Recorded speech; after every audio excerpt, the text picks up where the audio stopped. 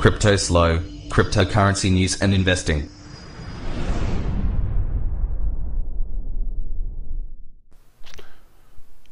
Crypto Slo with more crypto games. What's going on, guys? So, today we're going to talk about how to add your Seedit bot Tron wallet to your TronLink. And you're saying, wait a minute, why in the world would I want to add my Seedit bot to my TronLink? Well, basically, if you know, the Seedit bot, really all it is, is it is a Tron wallet within the Telegram. Well, not everyone is as savvy um, managing their assets and such with the Seedit bot. so, moving the Seedit bot to your you're not actually moving the bot. You're moving your private key to your TronLink so that you can check out what coins you have in there or manage your resources a little more easily. Or it gives you a second place to manage your Seedit resources. So let's get right into it. So first and foremost you're going to go down here in the corner. You're going to go to your Seedit thread and um, you're going to look for this square with the four dots.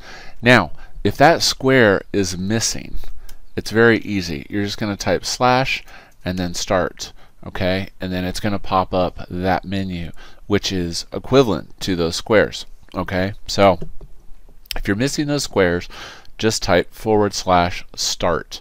All right, couple things. You see your little control panel. You'll see your balances, private key, address, and airdrops. So, not a problem. You want to get that private key. So let's go ahead and hit the private key, and then it is going to pop it up. Boom. Not very difficult. Now, I personally, if you pop that private key up, I will delete it after I'm done with it. So I'm going to go ahead and copy that to the clipboard. All right. Going to minimize Telegram and I'm going to go over to my TronLink, click on a thing, okay, and then I'm going to click Restore Account. All right, I'm going to call it Seedit. All right, enter. I'm going to select Private Key. I'm going to go ahead and paste my private key.